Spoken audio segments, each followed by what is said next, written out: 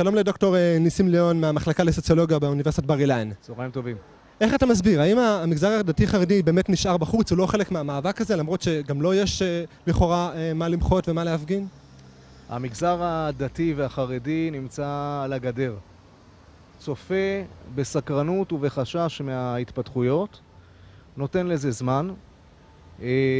מבחינתו הוא די מרוחק ממה שקורה, הוא אמנם למוד קרבות ומחאות, ואני חושב שגם הניסיון שלו לגבי הקרבות והמחאות של השנים האחרונות אה, מעלים אצלו זיכרונות לא כל כך נעימים לגבי התוצאות. למשל? לדוגמה, מאבק שהיה להתנתקות. היה מאבק אה, עממי מאוד גדול, רחב, מגויס אה, בצורה אינטנסיבית ומאורגן בצורה, כן, מאורגן בצורה מאוד מרשימה והתוצאה הייתה ברורה. גוש קטיף הוא חוזר.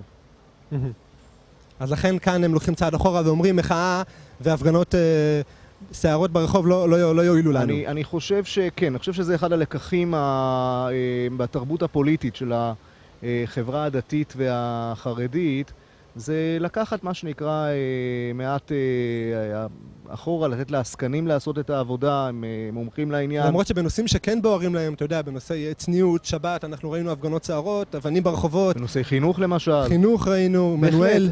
אלה היו הפגנות שהן היו הפגנות, נאמר את זה, הפגנות אה, קצרות טווח. כלומר, התארגנות מהירה, הבאה של אה, עשרות אלפים, וחזרה הביתה בצורה אה, מאורגנת. לא ראינו באף מקום מאבק או מחאה מתמשכת שנגמרה בהצלחה, נאמר את זה כך. ואתה חושב שהמגזר הדתי-חרדי כן צריך להיות חלק מהתופעה הזאת? אני אסביר לך למה. כי חלק מהטענות שהפנו פה זה כלפי המגזר הדתי-חרדי, זה חלוקה בלתי הוגנת של אה, משאבי המדינה, זה אה, הקצת אה, המון תקציבים להתנחלויות, למגזר החרדי, לקצבאות לאברכים ואולי באמת המחאה היא נגד המגזר החרדי ולא ביחד המגזר הדתי-חרדי. השאלה שצריכה להישאל היא על מה המחאה בעצם. ופה בעצם מה שאנחנו רואים, המחאה היא על החוזה החברתי החדש שמבקש הציבור עם המדינה. אה, אני חושב שהחברה החרדית והדתית במידה רבה כבר ניסחה את החוזה הזה. התנועות הפוליטיות שלה אה, כבר גיבשו את החוזה החברתי הזה, וכל מה שעכשיו הן בעצם עסוקות זה בלהגן עליו.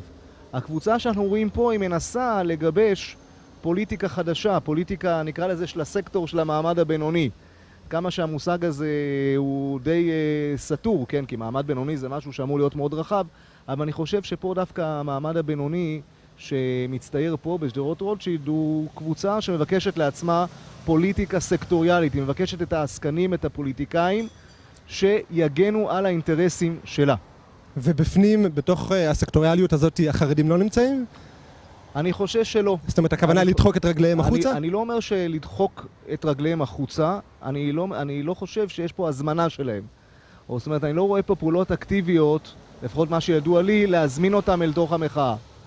Uh, צריך להביא בחשבון שגם uh, עניין uh, די טריוויאלי שהוא uh, uh, כמעט מובן מאליו בעיניים חרדיות, אני לא רואה פה חרדים שיושבים בתוך הסביבה החברתית והתרבותית שנמצאת פה, יש פה לא מעט בעיות.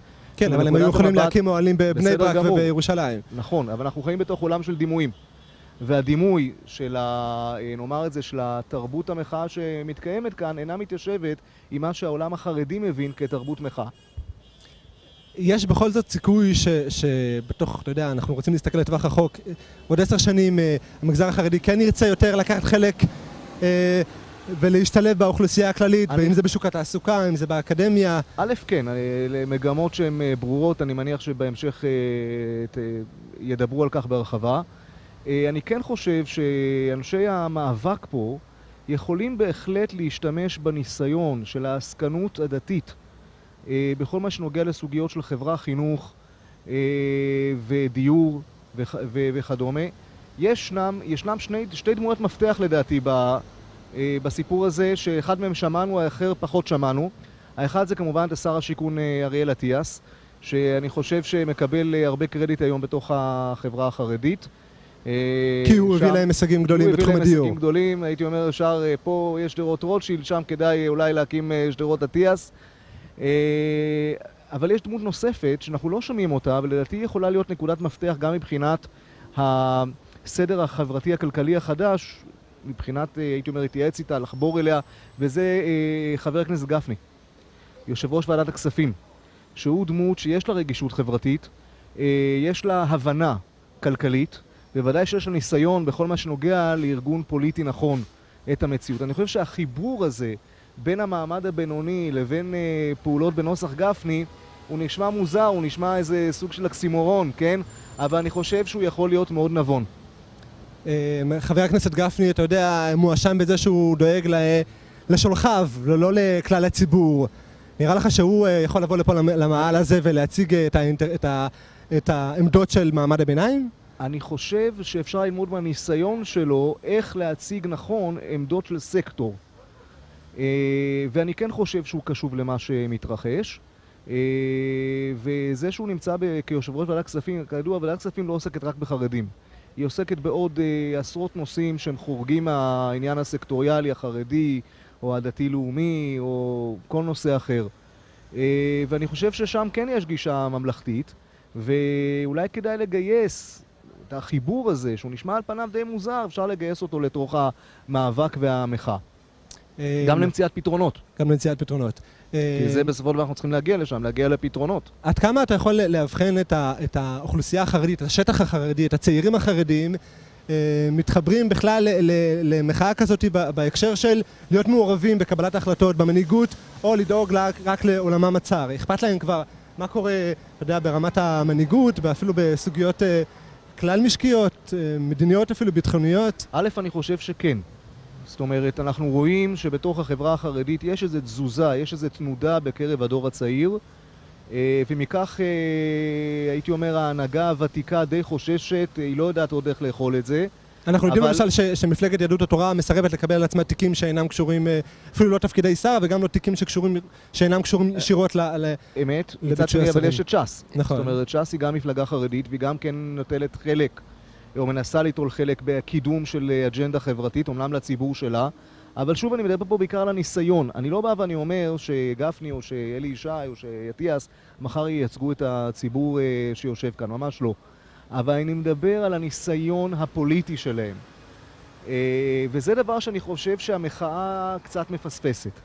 אה, ישנם עוד דמויות שאפשר להיעזר בהן, אם זה למשל אה, חבר הכנסת עמיר פרץ, או אם זה למשל יושב ראש ההסתדרות עיני. אלה אנשים שיש להם את הניסיון כיצד להוציא תוצאות מתוך מחאה.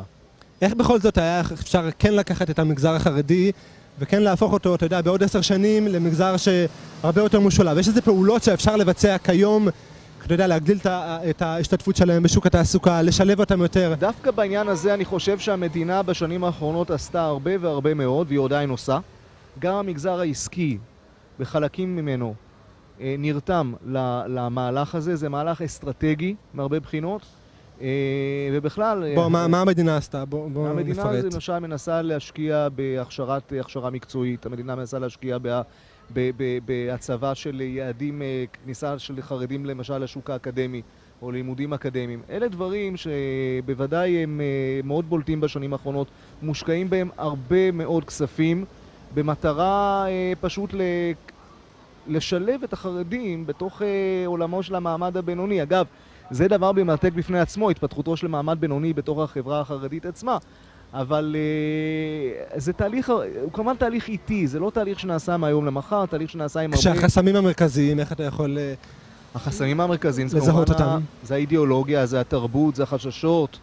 Uh, אלה דברים שבוודאי מונעים, או מונעים בצורה, הייתי אומר, uh, uh, בצורה מיידית מהחרדים להשתלב בצורה מהירה בתוך, ה, בתוך המעמד הבינוני, אבל אני אופטימי בעניין הזה, יש מהקולגות שלי שהם פחות אופטימיים. אני אופטימי בעניין הזה. כלומר, תן לי תחזית אה, אופטימית אני שלך. אני חושב, תראה, אתה פה מדבר מה שנקרא עכשיו על המגמות בחברה החרדית, אז פה אפשר לדבר על שתי מגמות אה, הפוכות אחת לשנייה. מגמה אחת היא ודאי השתלבות. השתלבות בתעסוקה, אה, השתלבות בעוד אה, מתחמים שונים שהיו חלק מהציבוריות הישראלית הרחבה. ומצד שני מגמות הפוכות, מגמות של הסתגרות, של uh, תנועה אפילו הייתי אומר כמעט על סף פונדמנטליזם, כלומר uh, תנועה שמבקשת להחזיר את המצב לקדמותו, שאני מניח שגם את זה נמצא בתוך השינוי הגדול הזה. Uh, אבל זה, פה הייתי אומר, התבנית הזו של מחאה לכן היא לא עובדת, כי הציבור החרדי עובד יותר, הוא עובד פחות על ה... הייתי אומר, בהיגיון של מהפכות. בכלל מהפכות זה דבר שהוא מאוד מטריד... זה, זה לא, הייתי אומר, עובד ב, ב, בתוכנה שלו, כן? מצד שני, התפתחות, אבולוציה היא כן עובדת. אז אתה אומר, אפשר להגיע עד פה את אנשי מעמד הביניים, מאוד יכול להיות שבתוך עשר שנים המגזר החרדי יהיה חלק מהם ולא, ולא יהיה... יכול להיות מאוד שעוד עשר שנים נמצא את מעמד הביניים החרדי גם כן נמצא פה. תודה רבה לך, דוקטור ליאן.